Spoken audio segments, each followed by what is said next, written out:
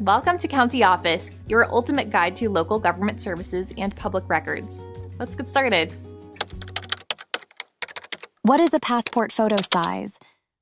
When applying for a U.S. passport, there are specific requirements for the photo you submit. The photo must be in color and printed on photo quality paper. It should be taken within the last six months to reflect your current appearance. The background must be plain white or off white. And in your head should be centered and measure between 1 inch and 1 and 3 eighths inches from the bottom of the chin to the top of the head. The photo must be 2 inches by 2 inches in size. You should have a neutral facial expression or a natural smile with both eyes open. Den head coverings are only allowed for religious purposes, and they must not obscure the hairline or cast shadows on the face.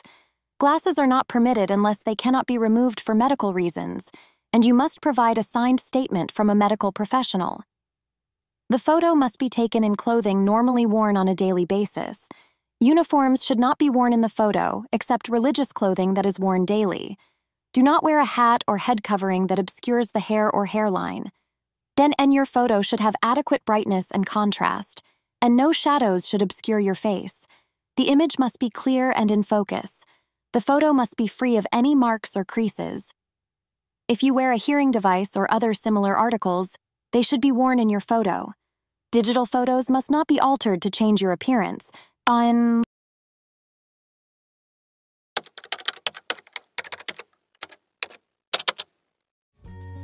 To learn more, check out these links, which you can click in the description below.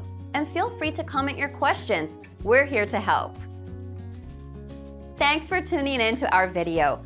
Please like and subscribe and leave a comment below. See you in the next video.